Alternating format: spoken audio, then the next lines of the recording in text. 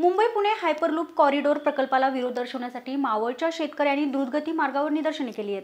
तसेच सात फेब्रुवारीला द्रुतगती मार्ग रोखण्याचा इशारा सुद्धा दिला आहे अवघ्या पंधरा मिनिटात मुंबई पुणे प्रवास पूर्ण करण्यासाठी हायर लूप कॉरिडॉर प्रकल्पाला राज्य सरकारने मान्यता दिली आहे. यासाठी मावळ तालुक्यातील गौंज येथे लोणावळा दरम्यानच्या वीस गावातील जमीन संपादित केली जाणार आहे. पण ब्रिटिशापासून आतापर्यंत धरण रेल्वे जुना पुणे मुंबई महामार्ग M I D C Maval बंद पाईपलाईन अशा अनेक प्रकल्पासाठी शेतकऱ्यांची लाखो एकर जमीन कवडीमोल दरात घेतली आहे पुणे मुंबई हा एक मावळ हा मध्यबिंदू आहे. आणि त्या मध्यबिंदूमध्ये सरकारनी मग सरकार ते कुठलंही असो पूर्वीच्या सरकारनी बंदिस्त जलवाहिनीचा घाट आमच्या शेतकऱ्यांच्या माथी मारला. एम आय डी सी आमच्या शेतकऱ्यांच्या माथी मारली.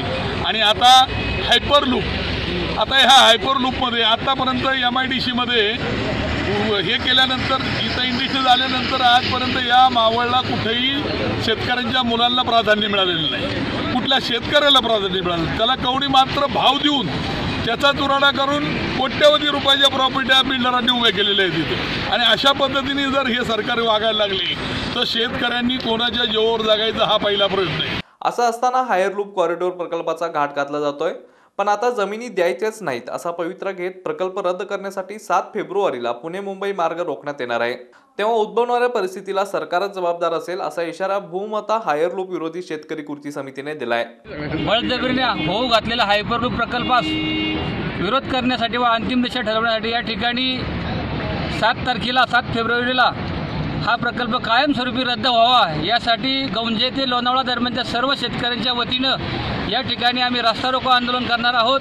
व त्यानंतर होणाऱ्या परिणामांची सर्व जबाबदारी संबंधित प्रशासनाची व शासनाची राहील याची आम्ही या ठिकाणी जाहीररित्या निवेदन करतो मध्यावर आमची मावळ तालुक्यातली जी गावं आहेत त्या गावांच्या शेतकऱ्याच्या हिताचा हा प्रकल्प नाही आहे हा प्रकल्प कुणाचा तरी एका परदेशी माणसाच्या हिताचा धरला आहे आणि त्याचा प्रोजेक्ट फेल झालेला प्रकल्प भारतामध्ये इंट्रोड्यूस केला आहे आणि त्या ठिकाणी मावळाची निवड केलेली आहे. या प्रकल्पाची आंध्र आणि कर्नाटकमध्ये मागणी केलेली आहे. त्यामुळे हा आपल्या भागात मावळात न करता आंध्र कर्नाटकमध्ये प्रायोगिक तत्वावर पाठवून द्यावा अशी अशा प्रकारची मावळवासियांची भावना आहे.